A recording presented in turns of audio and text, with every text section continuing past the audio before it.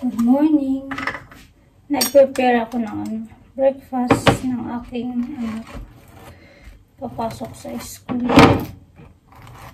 May, may na ba yung busis ko? Tulog pa kasi sila.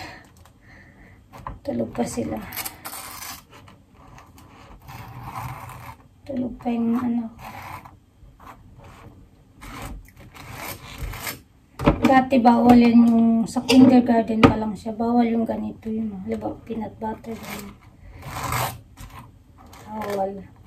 Eh, ayaw niya rin kumain ng ano, ng mga palaman na ham. Basta yung mga sandwich na may palamang ham, salami, mga ganyan-ganyan. Ayaw niya yan. Hindi niya kinakain. Saka cheese. Mas gusto niya pa yung ganito. Ayan, ganyan lang. Hatiin ko lang kasi hindi niya naman mauubos.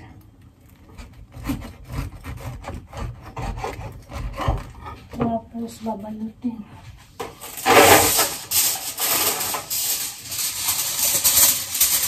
Balutin ko ng celery.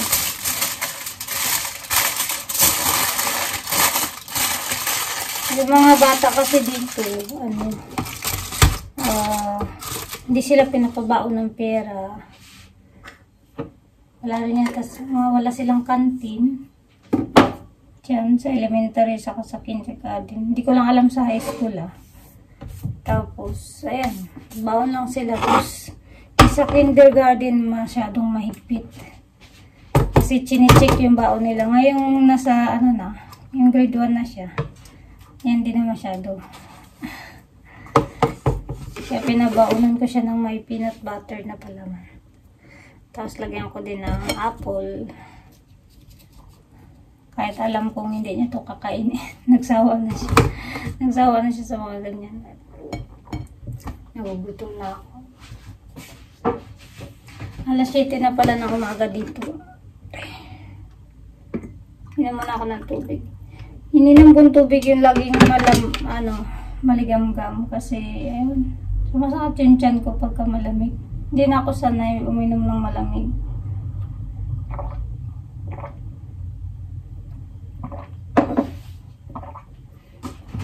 Tapos yan. Tapos lagyan ko rin siya ng ano, dried, yung ginawa namin ano, dried apple.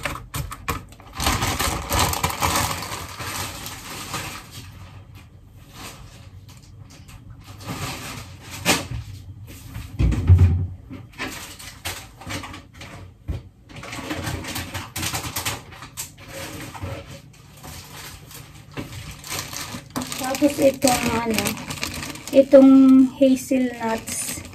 Napitas lang namin sa ano, puno namin dyan. May puno kami nuts dyan sa labas.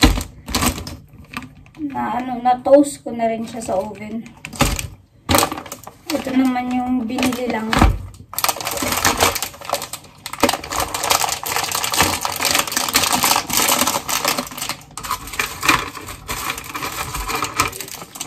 Ganyan lang mga baon nila. Bawal yung ano. Bawal yung, uy, alam na. Bawal yung mga matatamis na pagkain. Alam ba, mga candy, mga juice. Bawal yan. Tubig lang talaga.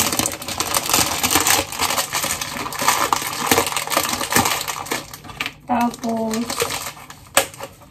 lalong-lalo na yung mga ano, chocolate. Bawal yan mga healthy na ano lang.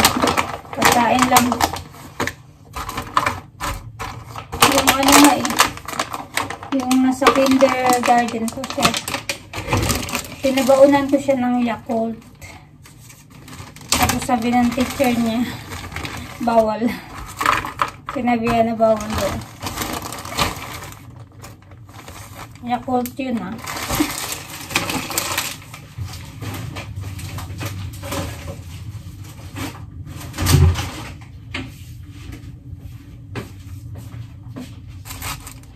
ako uh, isang pirasong carrots.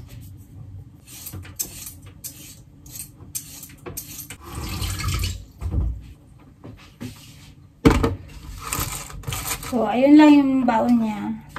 Ano lang naman to pang snacks. Mga last mga last G's or 9.30 yan sila mag ano, break time.